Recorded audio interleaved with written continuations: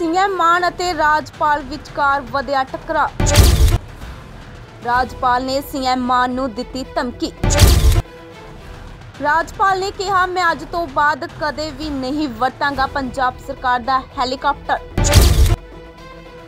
ਪੰਜਾਬ ਦੇ ਰਾਜਪਾਲ ਬਨਵਾਰੀ ਲਾਲ ਪ੍ਰੋਹਤ ਅਤੇ ਮੁੱਖ ਮੰਤਰੀ ਭਗਵੰਤ ਮਾਨ ਵਿਚਕਾਰ ਚੱਲ ਰਹੀ ਜ਼ੁਬਾਨੀ ਬਹਿਸ ਹੁਣ ਹੋਰ ਤਿੱਖੇ ਪੜਾਅ ਤੇ ਪਹੁੰਚ ਗਈ ਹੈ। ਰਾਜਪਾਲ ਬਨਵਾਰੀ ਲਾਲ ਪ੍ਰੋਹਤ ਨੇ ਬੁੱਧਵਾਰ ਨੂੰ ਮੁੱਖ ਮੰਤਰੀ ਨੂੰ ਧਮਕੀ ਦਿੱਤੀ ਕਿ ਜੇਕਰ ਉਹਨਾਂ ਨੇ ਵਿਧਾਨ ਸਭਾ ਦੇ ਬਾਹਰ ਜਾਂ ਕਿਤੇ ਵੀ ਉਹਨਾਂ ਪ੍ਰਤੀ ਅਪਮਾਨਜਨਕ ਭਾਸ਼ਾ ਵਰਤੀ, ਤਾਂ ਉਹ ਕਾਨੂੰਨੀ ਕਾਰਵਾਈ ਕਰਨ ਲਈ ਮਜਬੂਰ ਹੋਣਗੇ। ਦੱਸ ਦਈਏ ਕਿ ਮੰਗਲਵਾਰ ਨੂੰ ਮੁੱਖ ਮੰਤਰੀ ਭਗਵੰਤ ਮਾਨ ਨੇ ਵਿਧਾਨ ਸਭਾ 'ਚ ਰਾਜਪਾਲ ਨੂੰ ਲੈ ਕੇ ਕਈ ਸਖਤ ਸ਼ਬਦਾਂ ਦੀ ਵਰਤੋਂ ਕੀਤੀ ਸੀ, ਜਿਸ ਨੂੰ ਲੈ ਕੇ ਰਾਜਪਾਲ ਕਾਫੀ ਨਾਰਾਜ਼ ਨੇ। ਉਹਨਾਂ ਮੁੱਖ ਮੰਤਰੀ ਮਾਨ ਨੂੰ ਕਿਹਾ ਕਿ ਸੰਵਿਧਾਨ ਨੇ ਉਹਨਾਂ ਨੂੰ ਇਸ ਅਹੁਦੇ ਤੇ ਬਿਠਾਇਆ ਹੈ ਤੇ ਰਾਜਪਾਲ ਨੇ ਕਿਹਾ ਕਿ ਜਿਸ ਤਰ੍ਹਾਂ ਦੀ ਅਸ਼ਲੀਲ ਭਾਸ਼ਾ ਮੁੱਖ ਮੰਤਰੀ ਨੇ ਵਰਤੀ ਹੈ, ਉਹ ਮੈਂ ਨਹੀਂ ਵਰਤ ਸਕਦਾ ਕਿਉਂਕਿ ਮੈਨੂੰ ਰਾਜਪਾਲ ਦੇ ਅਹੁਦੇ ਦੀ ਮਰਿਆਦਾ ਦੀ ਪਰਵਾਹ ਹੈ। ਪਰ ਮੁੱਖ ਮੰਤਰੀ ਨੂੰ ਆਪਣੇ ਅਹੁਦੇ ਦੀ ਮਰਿਆਦਾ ਦੀ ਕੋਈ ਪਰਵਾਹ ਨਹੀਂ। ਰਾਜਪਾਲ ਨੇ ਮੁੱਖ ਮੰਤਰੀ ਦੇ ਉਸ ਬਿਆਨ ਦੀ ਵੀ ਨਾਰਾਜ਼ਗੀ ਜਤਾਈ, ਜਿਸ ਵਿੱਚ ਭਗਵੰਤ ਮਾਨ ਨੇ ਕਿਹਾ ਸੀ ਕਿ ਉਹ ਮੇਰਾ ਹੈਲੀਕਾਪਟਰ ਵਰਤਦਾ ਹੈ ਤੇ ਮੈਨੂੰ ਹੀ ਗਾਲਾਂ ਕੱਢਦਾ ਰਹਿੰਦਾ ਹੈ। ਇਸ ਦਾ ਜਵਾਬ ਦਿੰਦਿਆਂ ਰਾਜਪਾਲ ਨੇ ਕਿਹਾ ਕਿ ਹੁਣ ਜਦੋਂ ਤੱਕ ਉਹ ਪੰਜਾਬ ਦੇ ਰਾਜਪਾਲ ਬਣੇ ਰਹਿਣਗੇ, ਉਹ ਸਰਕਾਰ ਦੇ ਹੈਲੀਕਾਪਟਰ ਦੀ ਵਰਤੋਂ ਨਹੀਂ ਕਰਨਗੇ। ਉਹਨਾਂ ਕਿਹਾ ਕਿ ਮੈਂ ਸਿਰਫ 3-4 ਵਾਰ ਹੈਲੀਕਾਪਟਰ ਦੀ ਵਰਤੋਂ ਕੀਤੀ ਹੈ ਅਤੇ ਉਹ ਵੀ ਜਦੋਂ ਸਰਕਾਰੀ ਡਿਊਟੀ ਤੇ ਸਰਹੱਦੀ ਜ਼ਿਲ੍ਹਿਆਂ ਦੇ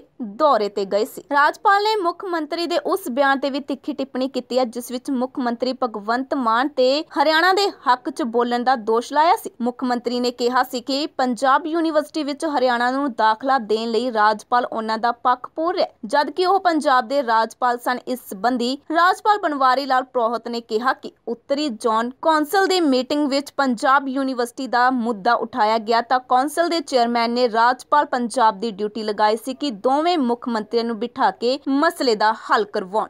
ਸੀਐਮ ਮਾਨ ਅਤੇ ਰਾਜਪਾਲ ਵਿਚਕਾਰ ਵਧਿਆ ਟਕਰਾ ਰਾਜਪਾਲ ਨੇ ਸੀਐਮ ਮਾਨ ਨੂੰ ਦਿੱਤੀ ਧਮਕੀ। ਰਾਜਪਾਲ ਨੇ ਕਿਹਾ, ਮੈਂ ਅੱਜ ਤੋਂ ਬਾਅਦ ਕਦੇ ਵੀ ਨਹੀਂ ਵਰਤਾਂਗਾ ਪੰਜਾਬ ਸਰਕਾਰ ਦਾ ਹੈਲੀਕਾਪਟਰ।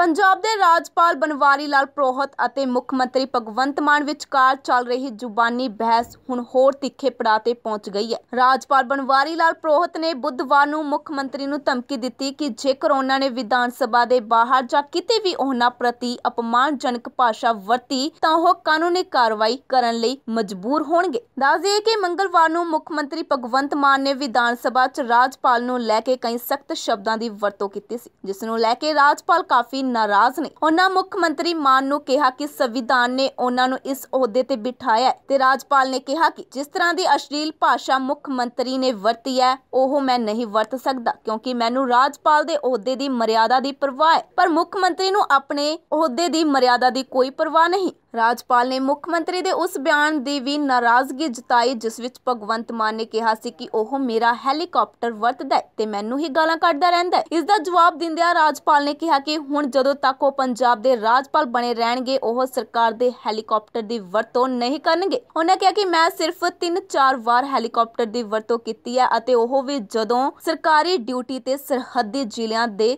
ਦੌਰੇ ਤੇ ਗਏ ਸੀ। ਰਾਜਪਾਲ ਨੇ ਮੁੱਖ ਮੰਤਰੀ ਦੇ ਉਸ ਬਿਆਨ ਤੇ ਵੀ ਤਿੱਖੀ ਟਿੱਪਣੀ ਕੀਤੀ ਹੈ, ਜਿਸ ਵਿੱਚ ਮੁੱਖ ਮੰਤਰੀ ਭਗਵੰਤ ਮਾਨ ਤੇ ਹਰਿਆਣਾ ਦੇ ਹੱਕ 'ਚ ਬੋਲਣ ਦਾ ਦੋਸ਼ ਲਾਇਆ ਸੀ। ਮੁੱਖ ਮੰਤਰੀ ਨੇ ਕਿਹਾ ਸੀ ਕਿ ਪੰਜਾਬ ਯੂਨੀਵਰਸਿਟੀ ਵਿੱਚ ਹਰਿਆਣਾ ਨੂੰ ਦਾਖਲਾ ਦੇਣ ਲਈ ਰਾਜਪਾਲ ਉਹਨਾਂ ਦਾ ਪੱਖ ਪੂਰ ਰਿਹਾ, ਜਦਕਿ ਉਹ ਪੰਜਾਬ ਦੇ ਰਾਜਪਾਲ ਸਨ। ਇਸ ਸੰਬੰਧੀ ਰਾਜਪਾਲ ਬਨਵਾਰੀ ਲਾਲ ਪ੍ਰੋਹਤ ਨੇ ਕਿਹਾ ਕਿ ਉੱਤਰੀ ਜੌਨ ਕੌਂਸਲ ਦੀ ਮੀਟਿੰਗ ਵਿੱਚ ਪੰਜਾਬ ਯੂਨੀਵਰਸਿਟੀ ਦਾ ਮੁੱਦਾ ਉਠਾਇਆ ਗਿਆ ਤਾਂ ਕੌਂਸਲ ਦੇ ਚੇਅਰਮੈਨ ਨੇ ਰਾਜਪਾਲ ਪੰਜਾਬ ਦੀ ਡਿਊਟੀ ਲਗਾਈ ਸੀ ਕਿ ਦੋਵੇਂ ਮੁੱਖ ਮੰਤਰੀਆਂ ਨੂੰ ਬਿਠਾ ਕੇ ਮਸਲੇ ਦਾ ਹੱਲ ਕਰਵਾਉਣ।